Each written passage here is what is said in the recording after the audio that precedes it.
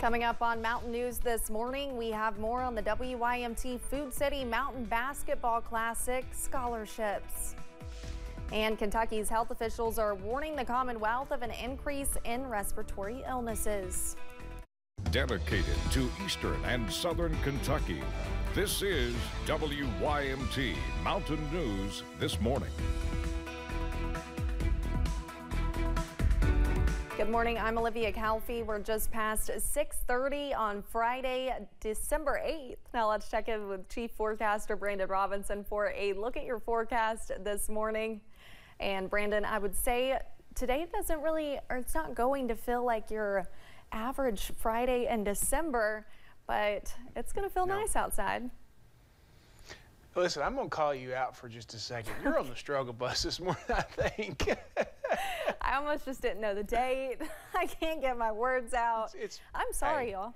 It's Friday.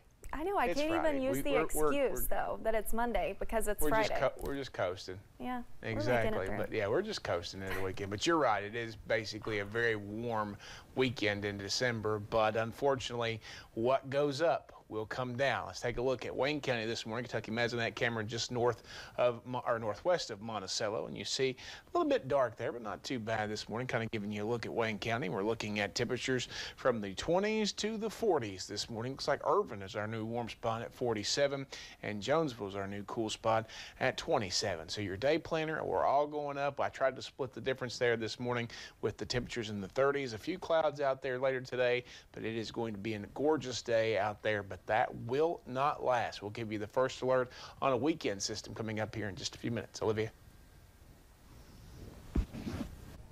All right. Thank you, Brandon. The annual WYMT Food City Mountain Basketball Classic tournament was in its fourth night yesterday. As part of the tournament, WYMT partners with local businesses, organizations, and sponsors to provide more than 120 students with $1,000 scholarships.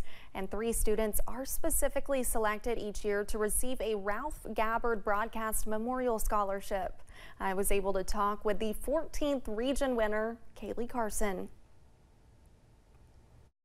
Kaylee Carson is the kind of student every teacher wants to teach with college goals that will take her out of Wolfe County, but career dreams that will bring her right back home. I plan on going to the University of Kentucky majoring in agricultural education. Um, after graduation, I want to go to Oklahoma State and get my master's degree, and then come back and teach at Wolfe County High School in the agricultural department. Because for her, Wolfe County will always be home.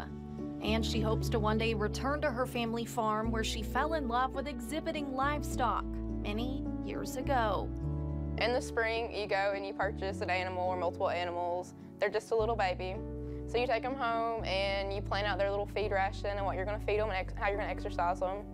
And throughout the summer, you get to watch them grow and you get to exhibit them at shows. And it's mainly based on like their appearance and how well you do with your animal. And then at the end of the year, we go to State Fair in August and we exhibit there. With Carson and her sister being the only kids that show livestock in Wolfe County, it has shaped her into the person she is today. From her dream of teaching other students about it to her current school involvements. I'm the FFA president and the FFA regional treasurer for the Big Sandy region. I'm a member of 4-H Livestock Club. We do multiple competitions throughout the year. Um, I'm part of Beta Club. I'm her secretary. All while taking a full load of college classes. She will be graduating in the spring of 2024, not only from Wolfe County High School, but also Hazard Community and Technical College with two associate's degrees, one in science and one in art. She says the support she has received is overwhelming. I feel like my family and my teachers have pushed me a lot to help me start taking classes and get me prepared. They're always there to support me no matter how much I'm struggling or on my work.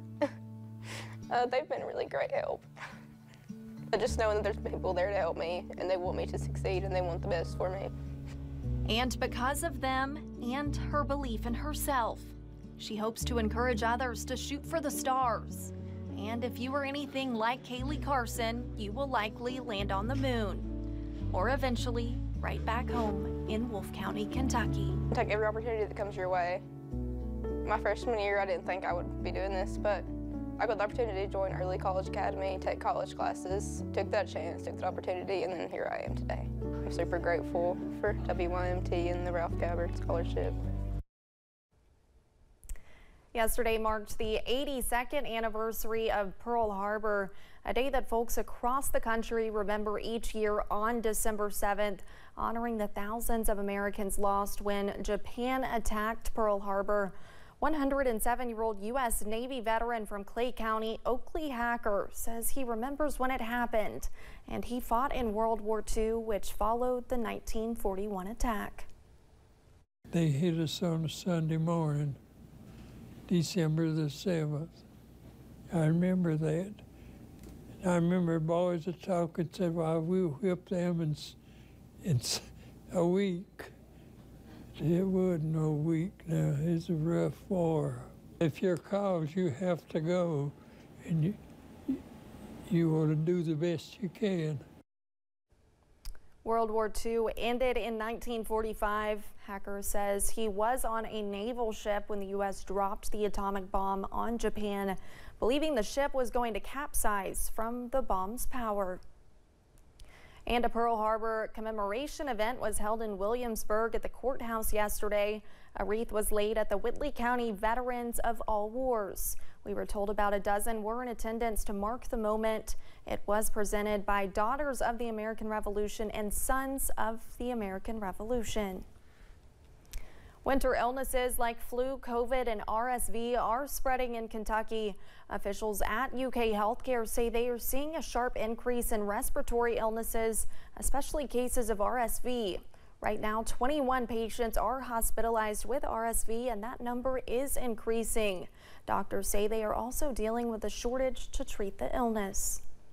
The manufacturer does not have enough supply nationally, so we are seeing shortages of that product. It's really designed for younger kids, the first RSV season, to try to protect them. Doctors remind parents to make sure your children are washing their hands and keep them home if they are sick to help stop the spread of illness. Kentucky has its first documented case of chronic wasting disease. This is a fatal neurologic disease that affects deer, elk, and other species in the deer family. It was found in a deer harvested by a hunter in Ballard County last month. That's in far western Kentucky. State fish and wildlife officials say they are carefully considering their next steps, and they always advise you not to eat meat from game animals that appear sick or in poor condition. The West Virginia Enhanced 911 Council says there were two incidents last week that left multiple centers without service for hours.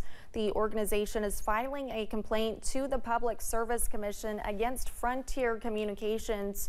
One of those outages was November 28th at Mingo County 911. The call center went silent for almost nine hours after officials say a vandal cut a nearby Frontier fiber line and calls could not be rerouted to another county's call center. Officials say they want Frontier to provide a backup source for 911 centers so they will not lose service if a fiber line is cut. Frontier says they've seen a 70% uptick in copper wire thefts in West Virginia since 2021. The Letcher County Sheriff's Office is asking for help to find a woman who they say could be in danger. Selena Taylor was last seen on October 10th at Fraser's personal care home in Ashland.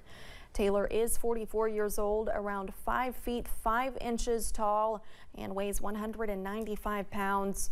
If you see her or know anything about her whereabouts, officials are asking you to contact the Letcher County Sheriff's Office at 606 633 2293 or your nearest local law enforcement.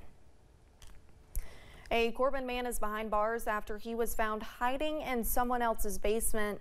The incident happened back on November 25th. Corbin PD received a call from a concerned homeowner reporting a prowler looking into vehicles. After a police officer conducted a home search, he found 42-year-old Charles Durham hiding in the basement. Durham was charged with third-degree burglary. He is being held in the Whitley County Detention Center. North Point Academy in Pike County opened its latest project this week, putting students in the store. The Jack Thrift Store is a community space that sells secondhand items, giving the students firsthand experience operating a business. The store is student organized and operated, and those involved say it serves two missions. The store just kind of helps us give back to our community at, while we're also raising money for ourselves. The store will be hosting a Christmas sale today from 9 a.m. until 1 p.m.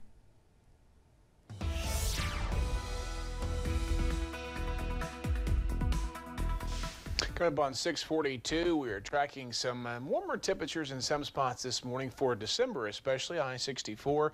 Not too bad up there with traffic this morning. 45, one of the warmer spots. West-southwest winds at 15, so it's cranking out there. Dew points low, visibility pretty good this morning. Temperatures across the rest of the region, 20s, 30s, and 40s.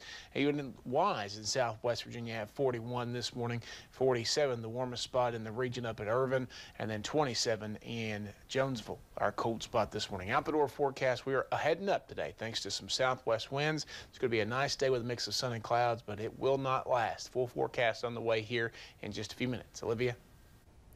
Thanks, Brandon, and thank you for joining us. The time is now 642. Still to come on Mountain News this morning. Yesterday, Hunter Biden was hit with multiple new federal charges in California.